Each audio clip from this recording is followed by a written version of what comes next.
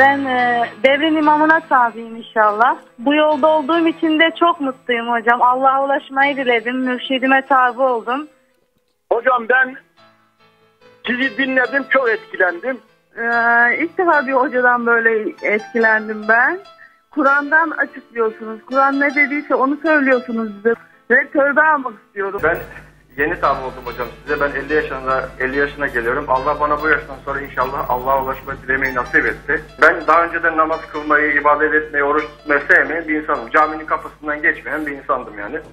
Ama şu anda Cenab-ı Allah bana bunları öyle bir sevdirmiş ki oruç da tutuyorum, zekat da veriyorum, yedi vakit namazda kılıyorum. Ee, sizi dinlerken inanın ki huzur buluyoruz. Ben size sıkıntılı zamanda aradım. Şimdi çok huzurluyum. Ben bütün her şeyimi yapıyorum. O kadar mutluyum ki. Teşekkür ederim. Sizden Allah razı olsun.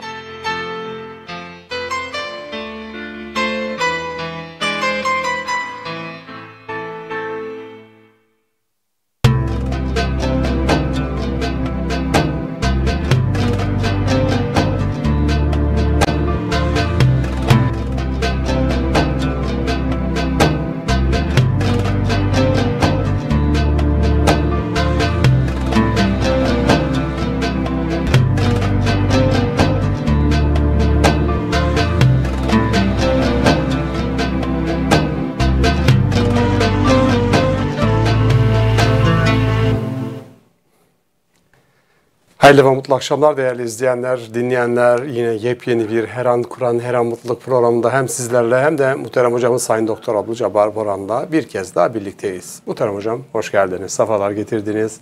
Sizi çok ama çok kalbimizden seviyoruz. Nasılsınız muhterem hocam? Hamd şükür ederiz. Allah razı olsun. Bizler iyiyiz inşallah. Biz de hepinizi çok ama çok seviyoruz kalbimizden. Sizler de iyisiniz inşallah. Hamd ediyoruz, şükrediyoruz. Muhterem hocam sizin olmanın mutluluğunu bir kez daha yaşıyoruz. Allah için yaşamak inşallah bugünkü konumuz. Uygun görürseniz ilk sualimizden başlamak istiyoruz. İnşallah. Muhterem hocam Allah için yaşamak ne demektir? Euzubillahimineşşeytanirracim. Bismillahirrahmanirrahim. allah Teala'ya sonsuz hamd ve şükür ederiz. Yüce Rabbimiz bir kere daha her an Kur'an, her an mutluluk programında bizleri bir araya getirdi. Allah için yaşamak ne demektir? Allah için yaşayanlar birbirleri için yaşayanlardır. Allah için yaşamak, Allah için olmak, insanları sevmek ve onları mutlu etmeye çalışmak hepimizin asıl gayesi olması gerekir. Sadece Allah'a yakın olanlar başkaları için yaşayanlara gerekli kıymeti en üst seviyede verirler. Hayatın temel gayesi Allah için olmaktır, başkaları için yaşamaktır. allah Teala Bakara suresinin 156. ayet-i kerimesinde şöyle buyuruyor. وَالَّذ۪ينَ اَلَّذ۪ينَ اِذَا أَصَابَ مُسِيبَةٍ قَالُوا اِنَّ لِلّٰهِ وَاِنَّ اِلَيْهِ رَاجِعُونَ onlar ki kendilerine bir musibet isabet ettiği zaman muhakkak ki Allah içiniz, ona ulaşmak, ona teslim olmak için yaratıldık ve muhakkak ki ona döneceğiz. Öyleyse gördüğünüz gibi hayatın tek gayesi, hedefi başkaları için yaşamak, Allah için yaşamaktır. Musibet herhangi bir olay, bir olay yaşadıklarında insanların doğru tespiti muhakkak ki biz Allah içiniz, ona ulaşmak ve teslim olmak için yaratıldık. Ve muhakkak ki ölümle tekrar ona döneceğiz, ulaşacağız. Allah razı olsun. Allah sizden sonsuz razı olsun. Muhterem hocam bir insan hangi noktadan başlayarak, başla, başkaları için yaşamaya başlar? Her noktada başlayabilir gibi görünürse de realite öyle değildir. Nefs tezkiyesi ve tasfiyesini gerçekleştirmeyen insan başkaları için yaşıyorum derse aslında yalan söylemiş olur. Çünkü o henüz nefsini allah Teala'ya teslim etmemiştir. Dinimizin adı İslam, İslam Allah'a teslim olmaktır. başkaları için yaşayanlar aslında Allah için yaşayanlardır. Allah için yaşayanlar insanla Allah arasındaki ilişkide 28 basamak İslam merdiveninin 22. basamanda ruhlarını, 25. basamakta fizik vücutlarını, 26. basamakta nefs ve 28. basamağın 4. kademesinde de iradesini de Allah'a teslim edenlerdir. Dört teslimi gerçekleştirenler, onlar Allah için olanlardır, Allah'a teslim olmuşlardır ve onlar aynı zamanda başkaları için de yaşayanlardır. Allah razı olsun. Allah sizden sonsuz razı olsun. Muhterem hocam Allah için yaşayan herkes layık olduğu seviyede mi mutluluğu yaşayacaktır? Yüzde yüz evet. Kim mutsuzsa o mutsuza layık olduğu için mutsuzdur. Kim mutluysa o mutluluğa layık olduğu için mutludur. Yani Allah'ın en üst seviyede bir kanunu var. Bu kanun liyakat ve mutluluk kanunu demek. Madem ki sual öyle geldi. Liyakat ve mutluluk kanunu. Neye layıksak o mutluluğu yaşıyoruz. Liyakatımız mutsuzluğa ise mutsuzluğu yaşıyoruz. Liyakatımız mutluluğa ise mutluluğu yaşıyoruz. Liyakat ve mutluluk kanunu. Muhterem Efendimiz buyuruyor ki Merkez Efendi'yi hatırlayın. Herkes mutsuz ve herkes bizden çözüm istiyor. Çözüm mutsuz olanların herkesin davranış biçimlerini değiştirmesidir. Yine muhterem Efendimiz buyuruyor ki biliyorum ki hepinizin ayrı ayrı problemleri var. O problemi olanlar marş marş başka insanların problemleriyle meşgul olun, onları çözmeye kalkın. Öyleyse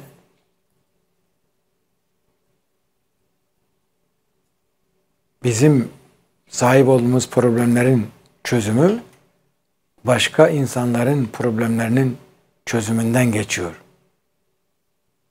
Allah razı olsun. Allah sizden sonsuz olsun. Muhterem hocam uygun görürseniz konumuzla ilgili halkımıza sorular yönelttik. Bu videoyu yayınlamak istedim. İnşallah.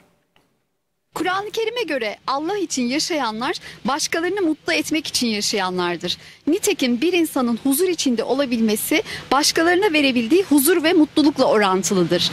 Başkaları için yaşamak sizin için ne ifade ediyor? Ben zaten hep başkaları için yaşıyorum. Onların mutluluğu kendi mutluluğumdan önce geliyor. Onları mutlu ettiğim zaman o gece çok rahat uyuyabiliyorum. Elimizden geldikçe hayır hasenet yapmamız, hastalarımızı ziyaret etmek, yaşlılarımızı ziyaret etmek mutluluk yavrum. Böyle düş- düşünmüyorum ben. Başkaları için yaşamam. Tabii ki bu herkesi hiçe saymak değildir ama başkası için değil. Kendin için, ailen için, genelde çok çocuğumuz için bunlar için yaşıyoruz. İnsanlar başkalarının duaları üzerine ayakta kalıyor. O görmezse Allah görüyor zaten. Başkaları için çalışmanın Allah'a hizmet etmek olduğunu biliyor muydunuz? Öyle bir şey ben zannetmiyorum. Allah'ın kendi ihtiyacı yok ki hizmete. Başkalarını mutlu etmek insanı hakikaten bazen çok görebiliyor. Çünkü insanlar biliyorsunuz açgözlü olabiliyor. Ne kadar veriyorsan o kadar da senden gidiyor. Mesela çok kısa bir dönemde at- panik atak diye bir şey geçirdim. Yani Verici olmak kadar almak da lazım. Eski komşuluğumuz bile kalmadı diyorum. Allah korkusu olmadığı için olmuyor bu eskisi gibi olmuyor. Tasvip etmediğim halde aynı şekilde ben de öyle davranıyorum. Çünkü karşıdakini tanımıyoruz. Allah korkusu olsa herkeste böyle kötülüklerin olacağını düşünmüyorum. Muhterem hocam bir misafirimiz başkaları için çalışmanın Allah'a hizmet olduğunu zannetmiyorum. Allah'ın hizmete ihtiyacı yok dedi.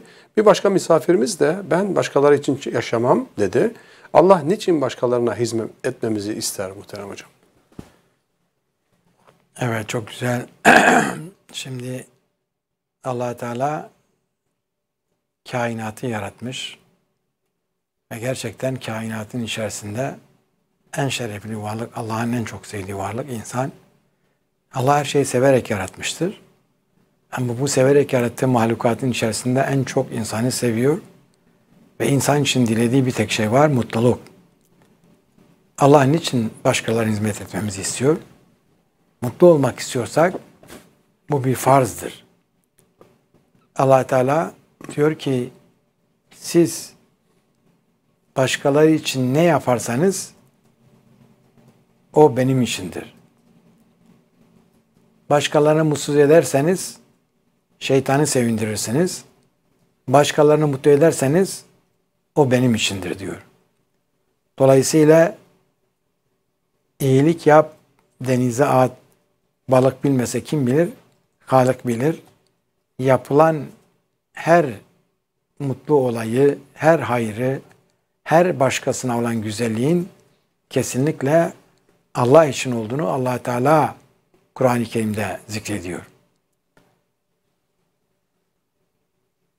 Casiye suresinin 13. ayet-i kerimesinde وَسَخَرَ لَكُمْ مَا فِي السَّمَاوَاتِ وَالْاَرْضِ جَمِيعًا min Göklerde ve yerlerde arasında yarattığımız canlı ve cansız her şeyi katımızdan insanın emrine musahar kıldık. Beyne suresinin 5. ayet-i kerimesinde ise وَمَا اُمِرُوا اِلَّا لِيَعْبُدُ اللّٰهَ مُخْلُس۪ينَ لَهُ الدِّينَ هُنَفَاءَ وَيُقِمُونَ السَّلَاةَ وَيُتَ زَكَاةَ ذَٰلِكَ دِينُ الْقَيِّمِ Ezeli ve ebedinin Allah için hanifler olarak dinde halis kullar olmaktan, nefslerini halis kılmaktan, namazı ikame etmekten, zekat vermekten başka bir şeyle emrolunmadılar. allah Teala'nın yolunda hizmet etmek, allah Teala'nın yolunda saadeti yaşamak demektir. Ancak başkalarının, başkalarına saadeti yaşatmanız da mümkün olabilir. Yani başkasına verdiğiniz mutlulukla siz mutlu olabilirsiniz. Başkalarına yaptığımız her hizmet aslında Allah'a hizmettir. Halka hizmet, hakka hizmettir. Allah onu kendisine yapılan bir hizmet kabul ediyor. Ne zaman bir insan kendisi için bir gayretin sahibi ise o aslında nefsine hizmet eder. Nitekim Hazreti Ömer'in çok meşhur bir sözü var. Bugün Allah için ne yaptın? Eğer o kişi cevap, cevap veriyorsa namaz kıldım, o senin içindir diyor. Ben oruç tuttum, o senin içindir diyor. Ben hacca gittim, o senin içindir diyor. Benim için ne yaptın? İşte benim için dediği zaman dışımızdaki hangi insanı mutlu ettin? O hizmet Allah'a hizmettir. Allah razı olsun. Allah sizden sonsuz razı olsun. Muhterem Hocam bir misafirimiz başkalarının mutlu etmek insanı bazen gerçekten çok yorabiliyor. E, verici olmak kadar verici olmak kadar almak da lazım dedi. Başka insanlardan beklentince ol, beklenti içinde olmak doğru mudur Muhterem Hocam? Başka insanlardan beklenti içinde olmak doğru değildir. Başkalarını mutlu etmek Allah için bunu yapmaktır. Dolayısıyla biz Allah'tan beklenti içinde olabiliriz ama başka insanlardan beklenti içinde olamayız. Nebiler Sultanı Peygamber Efendimiz dünyadan rağbetini kes ki Allah seni sevsin. İnsanların elinden rağbetini kes ki insanlar seni sevsin. Dolayısıyla başkalarından beklenti içinde olmak kesinlikle doğru değil. İnsanı bazen gerçekten çok yorabiliyor diyor. Verici olmak kadar alıcı olmak da lazım. Allah için vermek. Peygamber Efendimiz sallallahu aleyhi ve sellem Efendimiz veren el alan elden üstündür deyince bu vermek Allah için vermeyi kastediyor.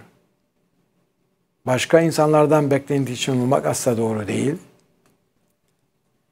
Biz insanlardan bir şeyler bekledikçe insanlar da bizden beklediğin şeyi vermedikçe hep mutsuzluk bir üçgeni içerisinde yaşarız. Demek ki beklenti içinde olmak şeytanın bir bize verdiği bir dütüdür. Biz insanlardan bir şeyler bekledikçe insanlar da bize o beklediğiniz şeyi vermedikçe hep mutsuzluk üçgeni içerisinde yaşarız. Çünkü beklentiyi oluşturan nefsimizdir. Nefsimiz devredeyse mutlaka onun afetlerine dayalı olarak şeytan da bizimle beraber biz başkalarına mutluluk vermeye baş çalışmadıkça mutlu olamamamız mümkün değil. Beklenti içinde bulunan beklediklerini hiçbir zaman kavuşamayan insanlar olmak durumundadırlar. Yani beklenti içinde olmak kesinlikle doğru değil. Allah razı olsun. Allah sizden sonsuz razı olsun. Muhterem Hocam uygun görseniz konumuzla ilgili videomuz daha var. Onu da yayınlamak isteriz. Allah Teala insanları mutlu edin diyor ve onları kurtarmamızı emrediyor. Kurtuluşun yegane yolu ise hayattayken Allah'a ulaşmayı dilemekten geçiyor. Sizce hayattayken Allah'a nasıl ulaşılır? Allah'a tek ulaşılan yol namaz. Secdeye gittiğinde kafanı koyduğunda zaten orada berabersin. Namaz bir. Oruç tutma iki. Yani ayetlere göre yaşamak lazım. Bu sefer ne oluyor? İnsanlar da ak- bakış açımız daha değişiyor. Kimse için bir hainlik düşünmeyiz. İbadetlerimizi düzgün yaparak. Öbür dünyaya göç ettiğimizde eğer ki iyiysek, amelimiz iyiyse orada onunla muhakkak görüşeceğiz. Zaten Peygamber Efendimiz de bizler için dua etmiş. Dünyaya çok tamah etmeyip tabii ki hani Cenab-ı Allah'a daha yakın. Zaten sevgisi içimizde elhamdülillah. Yani ona daha çok tesbihatlarla, daha çok yaptığımız hayırlarla, yani Cenab-ı Allah'ın sevdiği şeylerle ona yaklaşacağımızı düşünüyorum. Allah'ı vekil ederim her şeyde. Bir zorlandığım işte veya hastalandığımda direkt Allah'ım sen benim vekilim ol, minel bil vekil derim. O evliyalar gibi olmak ister miydin? Olmayı istemem. Ay, ne olmayı istemem mi? Ben de senin ermiş evliyaların gibi sana ruhumu ulaştırmak istiyorum. Muhterem Hocam bir misafirimiz öbür dünyaya göç ettiğimizde eğer ki amellerimiz iyiyse Allah'la muhakkak görüşeceğiz. Zaten Peygamber Efendimiz de bizler için dua etmiş dedi. Peygamber Efendimiz sallallahu aleyhi ve sellem'in duaları ahiret için bize fayda sağlar mı Muhterem Hocam? Peygamber Efendimiz sallallahu aleyhi ve sellem Efendimizin duası bu dünya hayatında. Zaten Peygamber Efendimiz sallallahu aleyhi ve sellem Efendimiz buyuruyor ki her peygamberin bir duası vardır. Benim duam da bu dünya hayatında iman edenler için söz konusudur. Peygamber Efendimizin tövbe eden insanlara duası şefaattir. Ve şefaat bu dünya hayatında. Şimdi o şefaatle ilgili ayetlere baktığımız zaman 9 küsür ayet-i kerime ile birlikte bir hadis-i şerif de vardır. Bu ayetlerin hepsinde Peygamber Efendimizin duası 11 küsur ayet-i kerime. Peygamber Efendimizin duası olan şefaat bu dünya hayatında. Nitekim kıyamet günü şefaat isteyenlere sözüm, bunda şefaatim yoktur. Dünyadayken yeterince uyarılmadınız mı? Yani Peygamber Efendimizin şefaati günah işleyenleredir. Halbuki bu dünya hayatında Kur'an-ı Kerim Allah'ın koyduğu üç tövbe var. allah Teala'nın mürşit önünde yaptığı tövbe kelimeleri kesinlikle mürşit tekrarlıyor. Allah'tandır. Ve allah Teala'ya verdiği vaat gereğince bu tövbenin yüzde yüz kabulü söz konusu. Tövbe eden kişiyle Allah arasında bu mağfirettir. Devrin imamıyla Allah arasında bu mağfirettir. Tövbe eden kişiyle devrin imamı arasında bu şalay şefaattir. Allah Resulü sallallahu aleyhi ve sellem Efendimiz kim benim için vesileyi Allah'tan isterse şefaatim ona vacip olur. Benim için vesileyi Allah'tan isterse demek ne demek? Çünkü devrin imamı Allah'ı temsil ediyor. Ama onun dışındaki bütün irşatla vazifeli olan mürşitler, vekil mürşitler devrin imamını temsil ediyorlar. Ve allah Teala Müddessir suresinin 46, 47 ve 48. ayet-i kerimelerinde وَنْ يُكَذِّبُ يَوْمُ الدِّينِ hatta tenekel yakin. onlar din gününü yalanlardık. Din günü ne? Din günü kişinin mürşidine tabi olduğu, tövbe ettiği gün. Şuara suresinin 82. ayet-i kerimesi. Ne zamana kadar? Hatta tenekel yakın ölüm gelinceye kadar. Ve ma tenfa'u şefaati şafiin ve şefaatçilerin şefaati de onlara fayda vermedi. Eğer onlar din gününü tasdik etseydi, o zaman din gününü tasdik edenler, bunlar Allah'a ulaşmayı dileyenlerdir. Bunlar ölmeden evvel ruhlarını Allah'a ulaştırmayı dileyenlerdir. allah Teala onlara, onlar da vesileyi Allah'tan isteyeceklerdi. Ve vesileyi Allah'tan isteyen kişi tövbesini gerçekleştirmesi halinde Peygamber Efendimizin şefaati bu dünya hayatında gerçekleşecekti. Ama belli ki din gününü yalanlamışlar. Allah'a ulaşmayı dilememişler ve sonuçta böyle bir sonuca ulaşmışlar. Allah Teala Kur'an-ı Kerim'de İsa suresinin 64. ayet-i kerimesinde şöyle buyuruyor. Biz Resullerimizi insanlar kendilerine itaat etsin diye gönderiyoruz.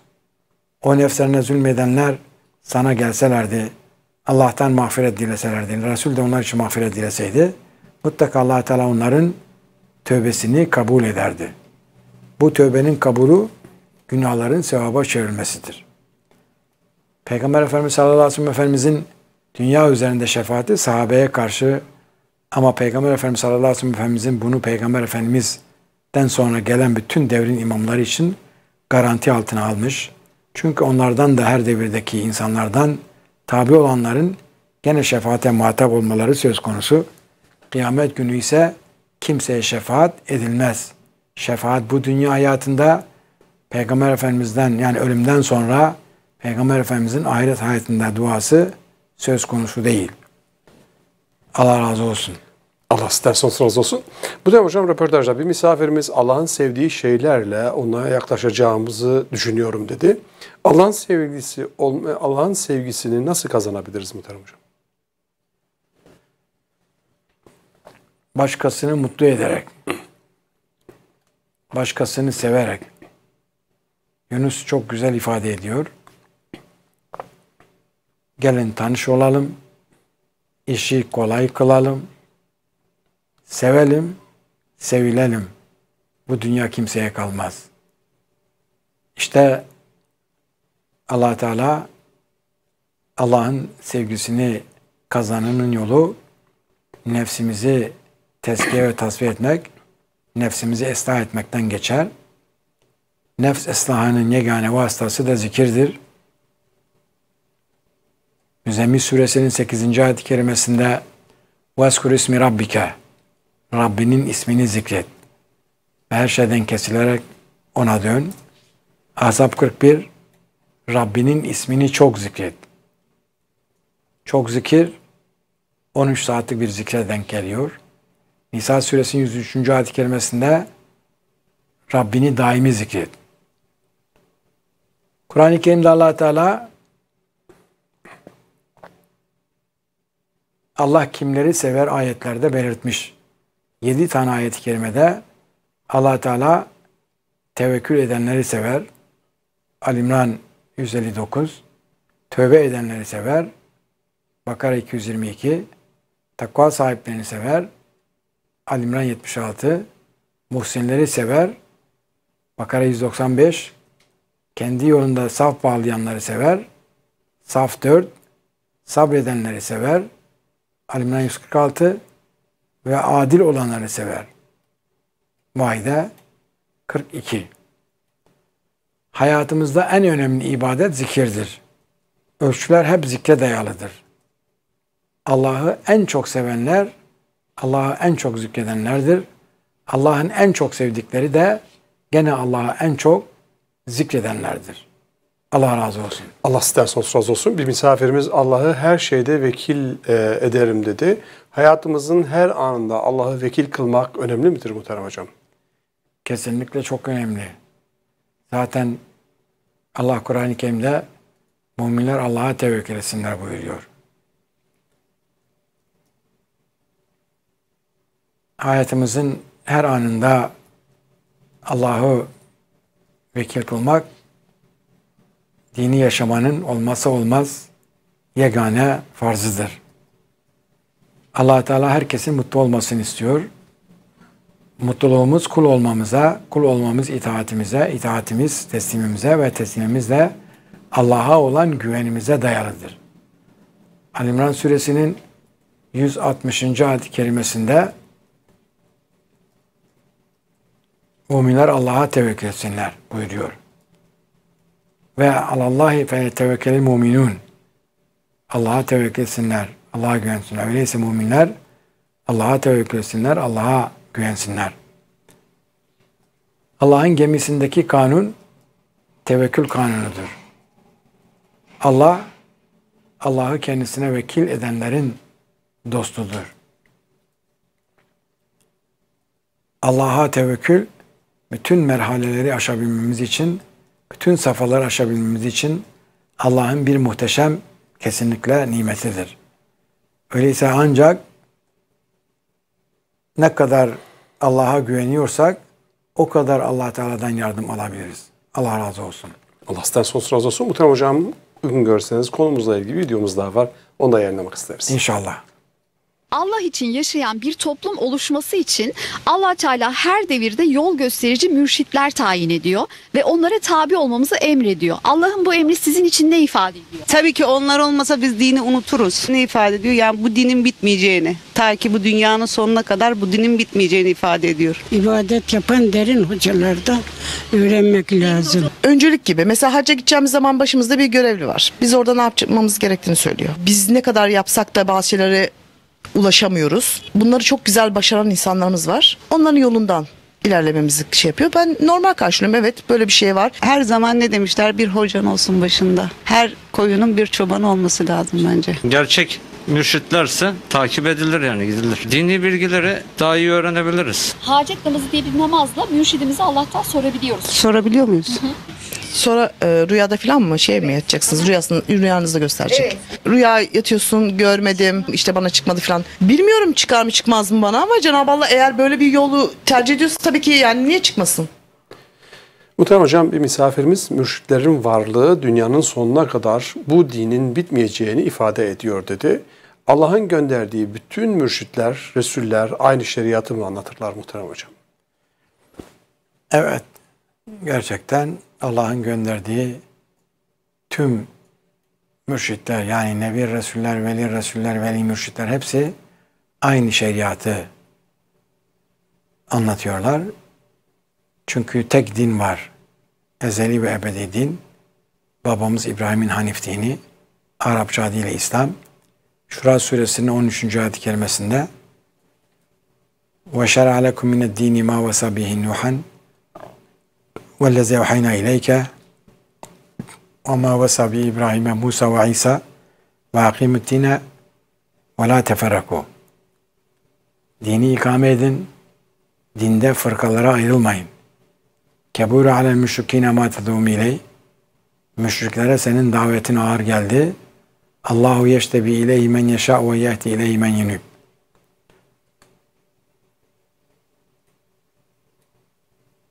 Allah Teala şeriat kitaplarını nebilere veriyor.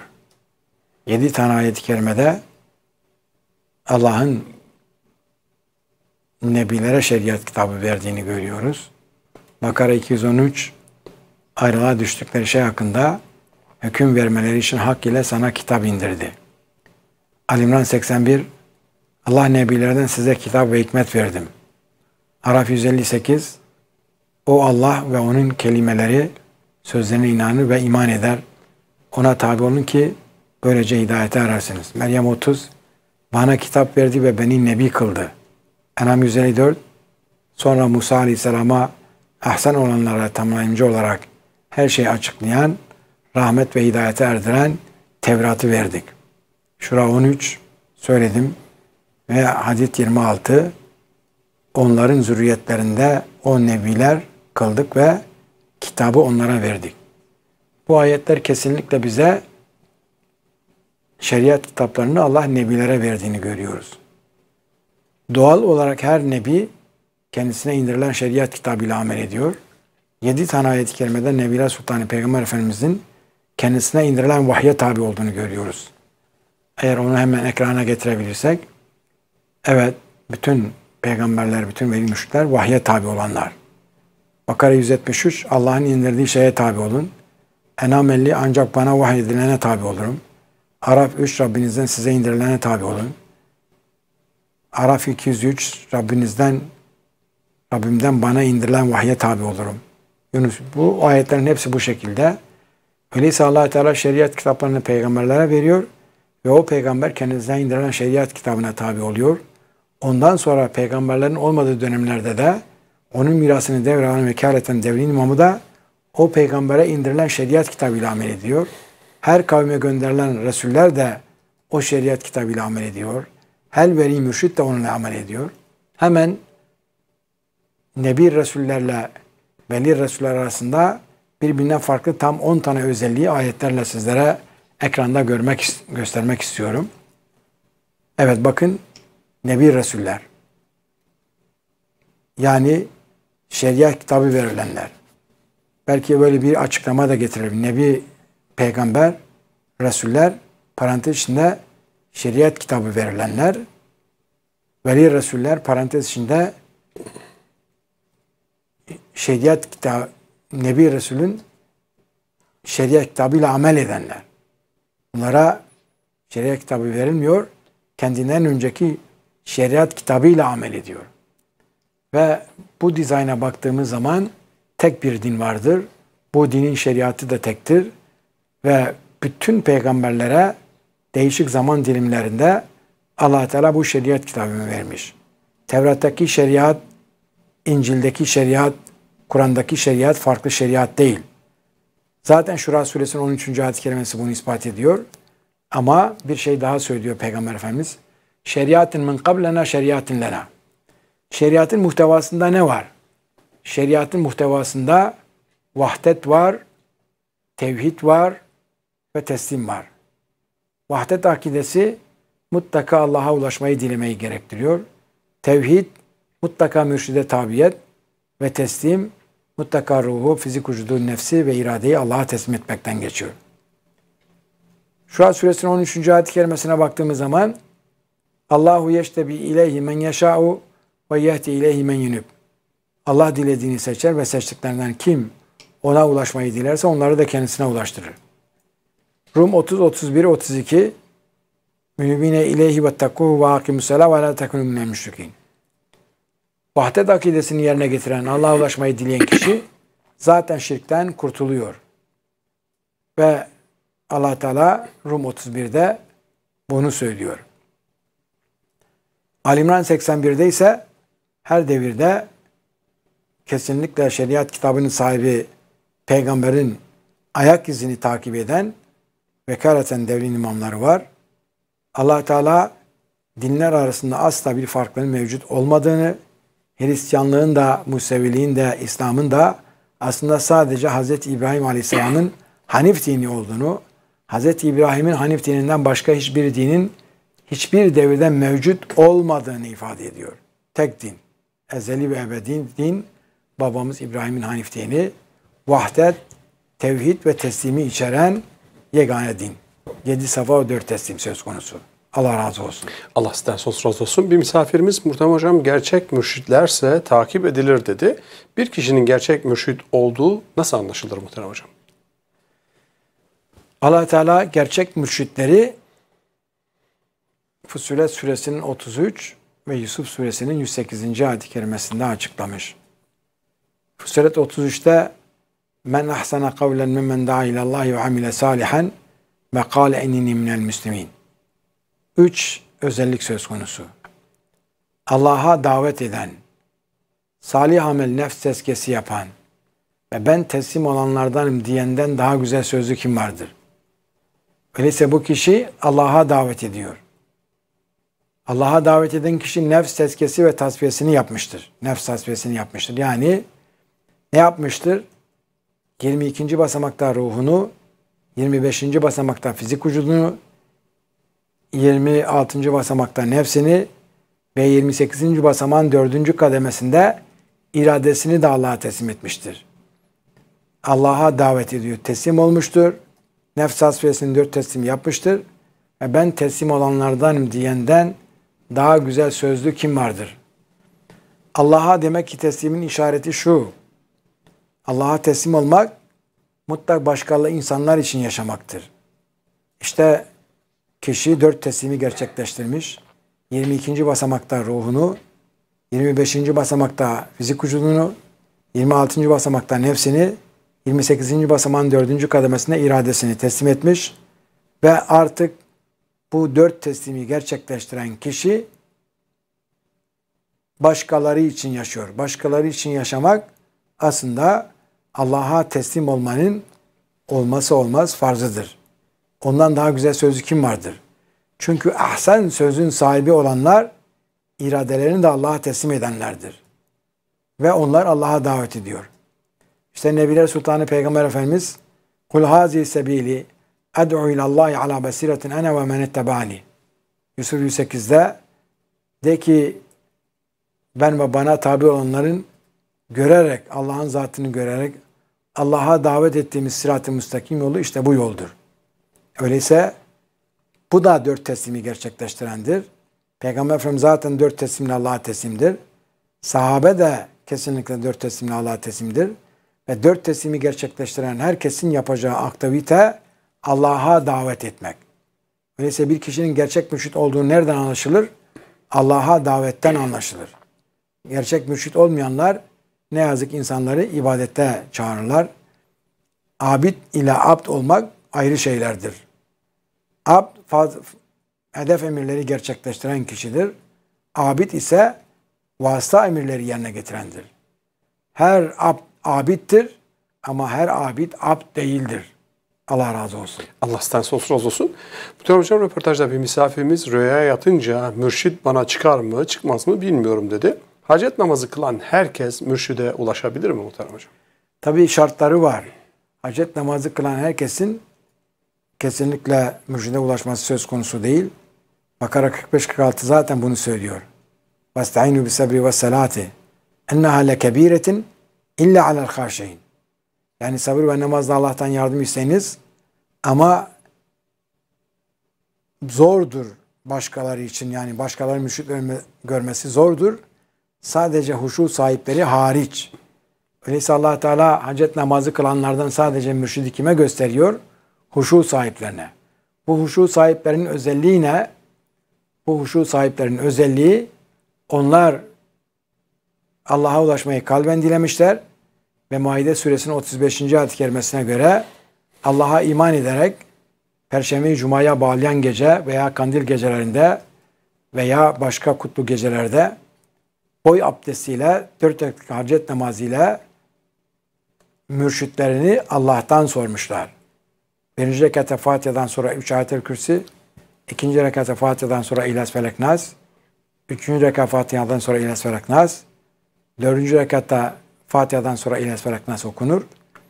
Ve namazı bitirdikten sonra Allah'a ile açılır. Allah Teala'dan mürşid istenir. Ve o kimseyle, o kişi kimseyle dünya kelamı, kelamı konuşmaz. Yatağını kıbleye göre dizayn eder. Sağ taraf üzerine yatar.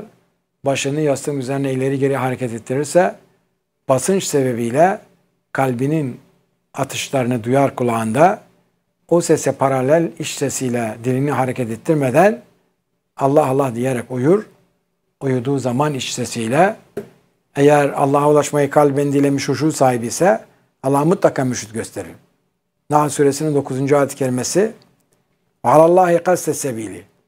Sebilin yani Allah'a ulaştıran yolun tayini Allah'a aittir. Hem Maide 35'te vesile Allah'tan isteyin. Hem Nahl 9'da sebilin tayini Allah'a aittir. Bu iki ayet-i kerime mürşidin hacet namazıyla mutlaka Allah'tan sorulması, Allah'ın gösterdiği mürşide tabi olmasını allah Teala bize farz kılıyor. Allah razı olsun. Allah sizden sonsuz razı olsun. Muhterem Hocam bugün görseniz izleyicilerimizden bize ulaşan sorular var. İnşallah. Ankara'dan Sait Göksel. Muhterem Hocam İbn Arabi Hazretleri Allah'ın Kabe'si zatımızdan başka bir şey değildir demiştir. Bu konuyu bizlere açıklar mısınız? Allah razı olsun. Bir daha söyler misin? İnşallah Muhterem Hocam. Allah'ın Kabe'si zatımızdan başka bir şey değildir. Yani hac farizasını yerine getirenler oraya gidiyorlar Kabe'ye. Ama kim fizik ucunu allah Teala'ya teslim etmişse zaten o bu güzelliğin sahibi olmuştur. Fizik vücudun Allah'a teslimi 25. basamakta gerçekleşiyor. O sebeple Allah dostları şöyle demişlerdir. Yunus Emre der ey hoca istersen var bin hacca hepsinden nice bir gönüle girmektir. Eğer bu noktadaysak evet gerçekten öyle. Allah razı olsun. Allah sizden sonsuz razı olsun. Ee, bir izleyicimiz Muhterem Hocam Allah'ın vücuda getirdiği olaylarda genelde hep huzursuz oluyoruz. Bu bapta dünya Müslümanın cennetidir, kafirin e, cehen- Müslümanın cehennemidir, kafirin cennetidir diyorlar. Dünya Müslümanın cehennemi, kafirin cenneti midir? Allah razı olsun. Sevgili kardeşlerim, o tamamen yanlış anlaşılıyor. Hem Nebile Sultanı Peygamber Efendimiz hem de Abdülkadir Geylani Hazretleri'nin tespitiyle. Şimdi acaba Resulullah sallallahu aleyhi ve sellem Efendimiz ne demek istemiş? Şimdi Peygamber Efendimiz sallallahu aleyhi ve sellem Efendimiz başka hadislerinde çünkü onun hadislerini anlayabilmek de başka açıklamalarını gerektiriyor. Bu dünyadaki zevklerin hepsini toplayın diyor Peygamber Efendimiz. Bu dünyada ne kadar zevk varsa hepsini toplayın. Cennette yaşayacağınız mutluluğun yanında bir zerre bile değil. Bu dünyadaki sıkıntıları, meşakkatleri, zorlukların hepsini de toplayın. Cehennemde yaşayacağınız azabın yanında bir zerre bile değil. O zaman eğer bu bilgiyi bu şekilde idrak ederseniz o zaman o açıdan kesinlikle doğru. Yani mümin için bu dünya da cennettir, ahiret de cennettir. Kafir için bu dünya da cehennemdir, ahiret de cehennemdir. Ama niye öyle? İşte bu size söylediğim standartlar sebebiyle bu ifade söylemiştir. Yani yani bu dünyadaki bütün zevkleri, bunların mutluluk diye zannettiği zevklerin hepsini toplayın. Cennette yaşayacağımız mutluluğun yanında bir zerre bile değil. Bu dünyadaki bütün sıkıntıları da hepsini toplayın. Cehennemde yaşayacağınız azabın yanında bir zerre bile değil. Bu sebeple Nebile Sultan Peygamber Efendimiz ifade ediyor. Ben dünyayı dostlarım için zindan, düşmanlarım için cennet kıldım. E, kafir de bu dünyada cehennemde, ölümden sonra da cehenneme gidecek. Ama kafir niye Peygamber Efendimiz'in hadisinde bu dünya kendisine cennet oluyor? Çünkü bu dünyada yaşayacağı sıkıntıları cehennemdeki azapla karşılaştırıldığı zaman ne hükmünde? Bir cennet hükmünde. O sebeple bu şekilde ifade ediliyor. Yani kafirin bu dünya hayatı da cehennem, ölüm sonrası hayatta da gideceği yer cehennem. Ama bu dünyada yaşayacağı bütün sıkıntıların hepsi cehennemde yaşayacağı azabın yanında bir zerre bile değilse o zaman kafirin bu dünya, dünyada yaşadığı mutsuzluklar cehenneme cehennemin yanında bir cennet hükmünde. Allah razı olsun. Allah sizden sonsuz razı olsun. Bakü'den Lamia Hanım. Muhterem hocam, Peygamber Efendimiz sallallahu aleyhi ve sellem ümmetimin büyükleri çok namaz kılmak ve oruç tutmakla cennete girmezler. Ancak kalplerinin merhameti ve göğüslerinin selameti ve cömertlikleriyle girerler buyuruyor. Bu hadisi açıklar mısınız? Allah razı olsun. Çok güzel aynen öyle. Bir kere daha yavaş yavaş oku. İnşallah muhterem hocam. Ümmetimin büyükleri çok namaz Ümme, kılmak. Ümmetimin büyükleri. Peygamber Efendimiz sallallahu aleyhi ve sellem bunu şöyle tarif ediyor. Nebilere en yakın olanlar cihat ehli ile ilim ehli. Şimdi cihat ehli ile ilim ehlinin bu hadisi şu anki açıklamada bir kere daha söyleyelim. Bakın ümmetimin büyükleri diyor. Evet. Çok namaz kılmak. Çok namaz kılmak. Ve oruç tutmakla. Değil. Çok namaz kılmak, çok oruç tutmakla değil. Az evvel söyledim. Bunlar senin içindir. Sen Allah için ne yaptın? Ben namaz kıldım. O senin için. Allah için ne yaptım? Ben oruç tuttum. O senin için. Ama devam et şimdi. Ancak kalplerinin merhameti. Kalplerinin merhameti. Yani başka insanlar için yaptığınız ne? Evet. Göğüslerinin e, selameti. Göğüslerinin selameti. Ve cömertlikleriyle girerler. Evet. Yani gayet açık. En üst seviyedeki cennetler onlarındır. Gerçekten de kalplerinin selameti kişi bir dilekle ruhunu Allah'a teslim etmiştir. Cömertlikleri ise hakkı tavsiyeler durumdadır. Ve başkalarına olan merhameti yani Nebile Sultanı Peygamber Efendimiz ne buyuruyor? Yerdekilere merhamet ediniz ki göktekiler de size merhamet etsin. Peygamber Efendimiz sallallahu aleyhi ve sellem Efendimiz buyuruyor. Ümmetimin velileri kendi amelleri değil, Allah'ın rahmetiyle ümmetimin velileri kendi amelleri değil, nefs tezkiyesiyle ümmetimin velileri kendi amelleri değil Müslümanlar olan merhametiyle cennete girerler. Tekrar ediyorum. Ümmetimin velileri yani burada Peygamber Efendimiz buyuruyor ki e, ümmetin büyükleri ümmetin velileri, ümmetin büyükleri onlar kendi amelleri değil Allah'ın rahmetiyle kendi amelleri değil nefs tasfiyesiyle kendi amelleri değil Müslümanlar olan merhametiyle cennete girerler. Allah razı olsun. Allah sizden sonsuz razı olsun. Muhterem hocam müsaadenizle Adana'dan Yılmaz Yıldırım Bey bize bir görüntülü ulaştı. İnşallah. Selamun Aleyküm ve Rahmetullahi ve Berekatühü muhterem hocamız. Hürmetle, hasretle mübarek ellerinizden öpüyorum ve bir e, sorum olacaktı inşallah. Allah için yaşamak ve adaletin sağlanması arasında bir bağlantı var mıdır inşallah? Sizi çok ama çok seviyorum. Allah razı olsun inşallah. Kesinlikle var. Biz de seni çok seviyoruz ve şahsında bütün Adanalı kardeşlerimize mutluluklar diliyoruz. Allah için yaşamak ile adalet arasında bir bağlantı var mı? Yüzde yüz evet.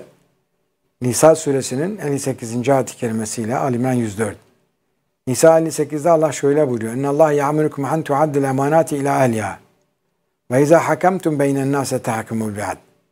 Şimdi eğer bu ayet-i kerimeyi Allah emanetleri sahibine iade etmenizi emreder. Evvela ruh emanettir. Sahibine teslim olduğu zaman fizik vücut emanet oluyor. 25. basamakta sahibine teslim olduğu zaman nefs emanet oluyor.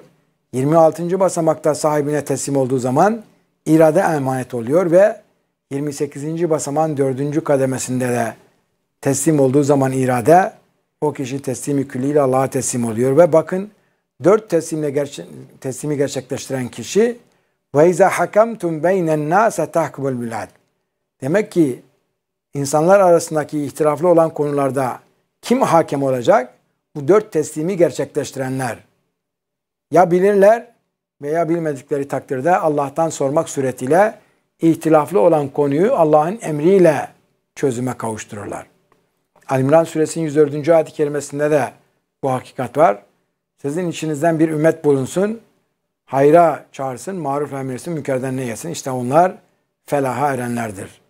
Yine bu ümmetin içerisinde daima hayırlarda Allah'a itaat eden, hayırlarda yarışanlar kesinlikle var. Allah'a itaat eden, hayırlarda yarışanlar. Yani maruf emreden, münkerden nehyeden, hayırlarda yarışanlar. Allah'ın geleceğimizi belirlemek üzere verdiği parola halk için hak ile, hak için hak iledir. Dolayısıyla kesinlikle bu konu adaletle Allah için yaşamak arasında bir irtibat var mı? Yüzde yüz evet. Allah razı olsun. Allah sizden sonsuz razı olsun. Bir izleyicimiz muhterem hocam bir dileğin kalpte nasıl edebiliriz? Dileği kalbe nasıl indirebiliriz? Dileğin kalpten olup olmamasının sağlaması var mıdır? Allah razı olsun. Bir daha söyler misin? İnşallah muhterem hocam. Bir dileğin kalp bir dileği kalpte nasıl edebiliriz? Bir dileğin kalpten olması zikirledir. Nebiler Sultanı Peygamber Efendimiz buyuruyor ki duanızın kesinlikle kabul edileceğine iman ederek dua edin. Kesinlikle kabul olan dua kalpten yapılan duadır. Bilin ki Allah kalbi gaflet içinde olanların duasını kabul etmez. Öyleyse eğer dileğiniz kalpten değilse o duayı allah Teala kabul etmez. Ama ancak sadece kalpten yaptığınız dualar Allah katında kabul görür. Allah razı olsun. Allah sizden sonsuz razı olsun. Bir izleyicimiz Muhterem Hocam insanlarla olan ilişkilerimizde nasıl sulh ve sükuna erebilirim? Allah razı olsun. Sevgili kardeşlerim, allah Teala bütün insanlardan sadece mutlu olmalarını istiyor. İnsanlarla ilişkide sulh ve sükune ulaşman, yüzde yüz nefsin manevi kalbindeki afetleri temizlemenle mümkündür. Ama yüzde yüz afetleri temizlemeden de bu mutluluğu yaşayabilir misin? Evet. Nasıl? Başkaları için yaşayarak. Yani dikkatle bakın nefsin var ama başkaları için yaşayacaksın. Şimdi daimi zikirde olsaydın, başkaları sana zulmetseydi, sen onu zulüm olarak görmezdin. Sana ulaşan bir hayır olarak görürdün. Nefsin 19 afetinden temizlemiş olsaydın, kesinlikle afetler olmadığı için davranışlarına başkasına zulmetmezdin. Öyleyse henüz daimi zikre ulaşmadan daimi zikirdeki gibi başkaları için yaşamak neyle mümkündür? Davranış biçimleriyle. Sen daimi zikirdeki bir insanın davranış biçimini sergilersen o mutluluğu yaşarsın. O zaman yapman gereken şey dışından sana gelen hiçbir şeyi zulüm olarak değil, hep hayır olarak karşılamalısın. Ve hedefin sadece ve sadece insanları mutlu etmek olmalı. Hedefin sadece insanları mutlu etmek olmalı. Onlar için yaşamalısın. Allah razı olsun. Allah sizden sonsuz razı olsun. Azerbaycan'dan Didar Bey. Muhterem Hocam Hadid suresi 28. ayet kelimeyi açıklar mısınız? Allah razı olsun. Hadid suresinin 28. ayet-i kerimesi Ya eyyühellezine amenüttakullaha ve amene bi resulü yutikum kufleyni min rahmetihi lekum nuren temşune bihi fin nasi ve yagfir lekum vallahu bu mürşide tabiyeti ifade ediyor. Bakın ey amin olanlar ölmeden önce Allah'a ulaşmayı dileyenler Allah'a karşı takva sahibi olun. Ve onun Resulüne iman edin ki yani tabi olun ki size rahmetinden iki kat versin. Tabi olduğunuz an zikre başlıyorsunuz. Rahmet ve fazıl, rahmet ve selavat geliyor. Ve sizin için onunla yürüyebileceğiniz bir nur kılsın. Devrin imamının ruhu başınızın üzerine gelip yerleşiyor. Ve sizi mağfiret etsin, günahlarınızı sevaba çevirsin. Yani tamamen mürşide tabiyeti açıklıyor inşallah. Allah razı olsun. Allah sizden sonsuz razı olsun. İstanbul'dan Mina Hanım Muhterem Hocam Allahu Teala aklını kullanmayana azap ederim buyuruyor. Allahu Teala bizden aklımızı nasıl kullanmamızı istiyor? Allah razı olsun. Sevgili kardeşlerim, Bakara suresi 185. ayet-i kerimesinde ve Furkan suresinin 1. ayet-i kerimesinde Kur'an'ın Furkan olduğunu beyan ediyor. Şehr Ramazan ellezî unzile fîl Kur'an huden linnâsi ve beyinâtin minel hude vel furkan. O zaman Kur'an Furkan'ı. Furkan nedir? Furkan doğruyu yanlıştan ayırma ölçüsüdür. O zaman şimdi tekrar suali sor inşallah. İnşallah muhterem hocam. Hemen. Allahu Teala aklını kullanmayana azap ederim buyuruyor. Şimdi bir dakika bakalım. Aklını kullanmayanlara azap ederim. Kur'an da Furkan'dır. O zaman bir şey bize söylendiği zaman A bir şey söylüyor. Kur'an hakkında diyelim veya başka bir hakkında. O zaman biz onu dinleyeceğiz ve onu dinledikten sonra Kur'an'la tartacağız. Kur'an'a uygunsa evet doğrudur. Yine bir başka bir şey bir şey söylüyor. Yine Kur'an'la tartacağız. Kur'an'a uymuyorsa o kesinlikle bidattır. Öyleyse her şeyi Kur'an terazisinde tartmak akletmektir. Tekrar ediyorum her şeyi Kur'an terazisinde tartmak akletmektir. Allah'ın terazisi Kur'an'dır. Kur'an terazisinde kesinlikle tartacaksınız. Siz bu, bu mukayeseyi, bu araştırmayı yapmasanız siz aklınızı kullanmayan birisi olursunuz. Mesela bir, misal vereyim size. Bakara suresinin 80. ayet-i kerimesinde La temennesin temesen nare illa ayyanen ma'dude. Onlar diyorlar ki sayılı günlerin dışında bize ateş dokunmaz. Yani mesela bugün insanlar diyorlar, din öğreticiler diyorlar ki tamam biz Allah'a inanıyoruz. Birçok yanlışlıklarımız var. Ama günahlarımızı cehennemde çektikten sonra biz Allah'a inandığımız için Allah Teala müminleri de cennetine alacak. Öyleyse Allah bizi oradan cehennemden çıkarıp cennetine alacak diyor. Allah Teala da diyor ki bu yanlıştır diyor. Bu Kur'an terazisinde tartıldığı zaman bu yanlış. Kul ettehaztum indallahi ahden. Bu konuda Allah'ın bir ayeti var mı? Eğer ayet varsa Allah ayetinden ahdinden caymaz. Em tekulune alallahi ma la ta'lemun. Yoksa siz Allah'a Allah'ın bilmediği bir şey mi söylüyorsunuz? Allah'ın ilmi Kur'an-ı Kerim'de. O zaman Kur'an-ı Kerim'de olmayan bir bidat mı söylüyorsunuz diyor.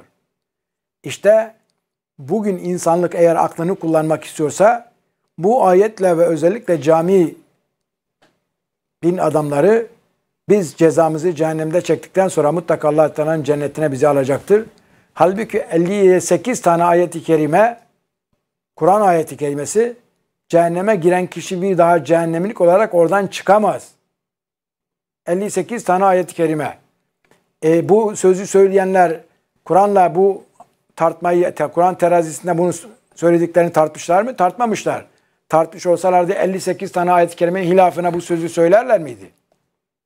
O zaman o kişi aklını kullanmıyor. Yani akleden kişi her konuyu Kur'an terazisinde tartan kişidir. Mesela şu anda siz bize sual soruyorsunuz. Biz de sualinizi Kur'an ayetleriyle cevap veriyoruz. Ve eğer hadis söylüyorsak o Kur'an ayetine uyan hadisi söylüyoruz. Allah Resulü bir gün hadislerim tartışılacaktır. Kur'an'a bakınız diyor. Yani benim hadislerimi Kur'an terazisiyle tartın. Kur'an'a uyuyorsa benim sözümdür. Kur'an'a uymuyorsa hayır diyor. Öyleyse akletmek her şeyi Kur'an terazisinde tartmak demektir. Ve dikkatle bakın Allah Resulü sallallahu aleyhi ve sellem Efendimiz herkese aklı ölçüsünde hitap ediniz. Aklı olmayanın dini yoktur. Kişinin dini aklı ölçüsündedir. Eğer Allah'a ulaşmayı dileyen bir aklın sahibi ise birinci safhaya ait bir din sahibidir. Eğer mürşidine tabi ise ikinci safa. Yani ikinci safhada aklediyor. Üçüncü safhada aklediyor. Dördüncü safhada aklediyor. Akletme ilerledikçe en son son noktada akletme iradenin de teslimiyle devam ediyor. Allah razı olsun. Allah sizden sonsuz razı olsun. Muhterem Hocam Bakü'den bir izleyicimiz bizi bize maddi ve manevi verilen ve verilmeyen her şey bizim için bir imtihan mıdır? Allah razı olsun. Tabii her şey için bir imtihandır. Allah razı olsun. Allah sizden sonsuz olsun. Muhterem Hocam müsaadenizden Ağrı'dan Uğur Aktaş bize bir görüntülü sual. İnşallah. Esselamu Aleyküm ve Rahmetullah Berekatuhu muhterem hocam. Başta Efendimiz olmak üzere sizleri çok ama çok ama çok hem de kalbimden seviyorum. Ellerinizden hürmetle ve hasretle öpüyorum inşallah. Hocam müsaadenizle sorumu arz etmek istiyorum. Allah'ın dostu olmadığı halde Allah'ın dostu gibi görünenler olabilir mi? Bunları bize açıklar mısınız? Tekrardan sizleri çok ama çok kalbimden seviyorum. Ellerinizden hürmetle ve hasretle öpüyorum. Allah razı olsun. Esselamu Aleyküm ve Rahmetullah ve Berekatuhu. E Mevlana ya olduğun gibi görün ya göründüğün gibi ol diyorsa demek ki Allah'ın dostu gibi görünen ama gerçekte Allah'ın dostu olmayan insanlar her devirde vardır. Olmaz yok değil. Onlar gerçekten e, yedi sabah dört teslimi yaşamayanlardır. Allah razı olsun. Allah sizden sonsuz razı olsun. Ee, bir izleyicimiz Muhterem Hocam tebliğ yaparken ruhumuzun Allah'a ulaştığını söylüyoruz. Karşı taraf yani biz ruhsuz mu oluyoruz diye sorunca nasıl cevap vermeliyiz? Allah razı olsun. Bizim evet içimizde yaşayan ruhumuz kesinlikle Allah'a ulaşmıştır. Allah'ın zatında ifna olmuştur.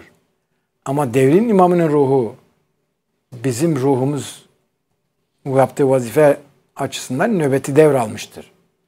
Nitekim devrin imamının ruhu gelip bizim ruhumuzla konuşmadıkça asla vücudu terk etmez. Yani zaten Allah'ın zatından bize üfürülen ruh ancak bu kanuna tabidir. Ruha hükmedebilecek sadece Allah'tır. Dolayısıyla ruhu allah Teala bize üfürüyor ve ancak Allah'ın zatından üfürülen ruha devrin imamının ruhu konuşabiliyor ve senin Allah'a ulaşma günün geldi vücudu terk et, senin yer nöbeti ben devralıyorum diyor. Öyleyse içimizden yaşayan ruhumuz bizden ayrılıyor. Sırat-ı müstakim üzerinden seyri sülükle Allah'ın zatına ulaşıyor. Ama tövbe sırasında bizim ruhumuz vücudumuzdan ayrılıp sırat-ı müstakim ulaşınca daha doğrusu çıkmadan devrin imamının ruhu başımızın üzerine geliyor. Bizim ruhumuzla konuşup o emri verince ancak o bizden ayrılabiliyor. Devrin imamının ruhu emri vermedikçe ruhumuzun bizden ayrılıp sırat-ı müstakime ulaşması mümkün değil. Allah razı olsun. Allah sizden sonsuz razı olsun. Mustafa Hocam bize ulaşan çok sayıda dua talebi var ve bugün de geldik programımızın sonuna. Son sözleri size bırakıyoruz inşallah. allah Teala'ya sonsuz ham teşekkür ederiz. Ekranlara başında bizi izleyen siz muhterem misafirler, sevgili kardeşlerim sizleri çok ama çok seviyoruz kalbimizden. Bir başka her an Kur'an, her an mutlu programda tekrar birlikte olmak dileğiyle Allah'ın rahmeti, fazlı selavatı, bütün güzellikleri hepinizin üzerine olsun. Sizleri çok ama çok seviyoruz kalbimizden. Esselamun aleyküm ve rahmetullahi ve berekatuhu. Allah sizden sonsuz razı olsun. Hayırlı ve mutlu geceler değerli izleyenler.